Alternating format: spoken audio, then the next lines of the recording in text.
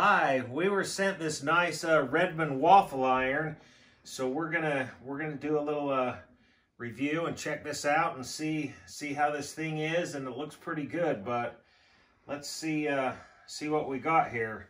It says, let me get my glasses on. Okay, Redmond waffle maker, one year warranty, cool touch handle, anti leak system, non stick for easy cleaning. So let's see what we got here. Yeah.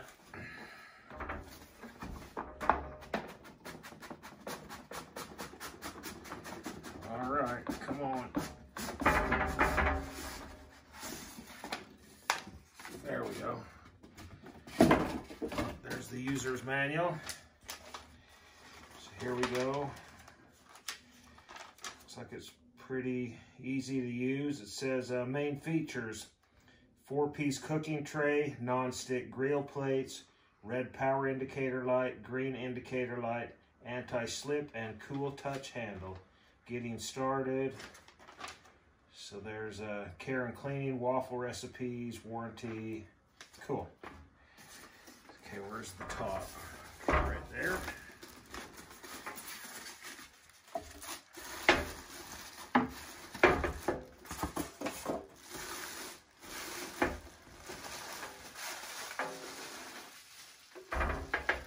Okay, there we go. So there's the top of it. It's pretty nice. And there's a latch right there that locks. So there we go. There's the, the griddle, red light, green light. That looks pretty good. So we're gonna get set up. We're gonna actually go cook outside. So we're gonna do some outdoor waffles on this Redmond waffle iron. So we'll get set up for that and we'll see you back. Okay, we're ready to do this. In that last take, I said we was gonna cook outdoors, but we was reading the manual and it says uh, do not use outdoors. So we're just gonna do outdoor cooking with Al indoors today. But here's the, the iron, so we'll, let's plug this in. There we go. So the red light's on and the green light's on. So when it gets preheated, this green light will go off and then it just cycles and keeps that temperature while you're cooking your waffles. So we'll just let that preheat and I'm gonna make some some waffle batter here. But we're gonna put it in this and we'll sift it all together. So there's a cup of flour. Set that there. And then baking powder next. A teaspoon of baking powder. So there's the baking powder. Okay, some salt, a quarter teaspoon of salt. Get that in there. That filled up a little bit, so I'll do that. Perfect. Just like that. And then uh, we use the same thing here, quarter teaspoon of baking soda. Put that there. Cup of milk. But that's not what I want to do, Jenny. I'm getting ahead of myself. So we need that. Mm -hmm. We don't want to pour the milk through the sifter. So nope. Let's, let's sift this yet. We got all the dry ingredients. Look at that mess I'm making on the dishwasher. You can probably sit better than me, but this will. You're this, doing it. This will be good. So let's do that. We'll set that there. Okay, and then we can do the one cup of milk.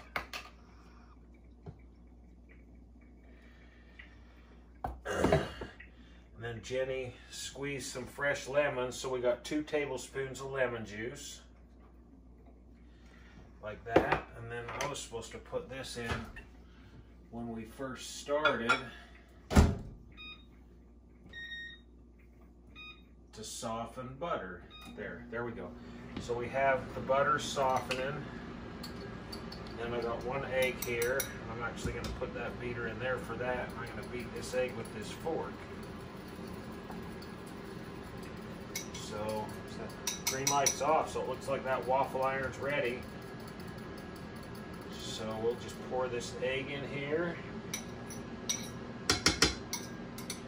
Like that, and then we'll uh, wait for the butter. When the butter gets melted, I'll put put it in there and uh, mix that all up. And then we'll be back and we'll start cooking some waffles. So we'll see you back.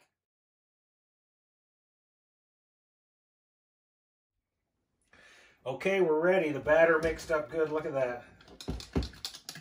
Nice and smooth. So it says uh, the first use to put a little oil on the griddle. So I'll just kind of give each one a little little drop of oil. And then it says uh, it'll cook for about four to five minutes and it steams out the side. When the steam subsides, that's when your waffles are done. So let's load this in here. It says make sure it's filled all the way to the corners. So, kind of push it around. That looks like it will run out to the corner. That might overflow right there, but let's close it. Oh, I killed it. That's awesome. It'll be fine. now I can't see the lights. Oh my heck. I put way too much. That's okay. Okay, so this is this is the first time I've used this, but yeah, that was a And you're not a waffle maker really, so yeah. this. What do you mean I'm not a waffle maker? okay, that it gave a good effect. So let's see. So there's there we go. We're just gonna do this. So don't put as much batter as I put in. Maybe just this is a quarter cup, so probably just a quarter cup in each. And I probably put six of those suckers in there. But so now the green light's on, so it's preheating it, and it's and it's getting back up to the temperature. So it's probably going to be another four minutes. I don't know if you can see on the camera, but I can see there's a lot of steam coming out there. So this is cool. So we'll uh, just let it finish, and then when the steam subsides, we'll uh, we'll open it up and see see how good of waffles we made. So we'll see you back. Okay, let's see what we got here. It's just barely steaming out of that corner, so let's push the latch. Oh yeah, look at Oh. those golden brown waffles.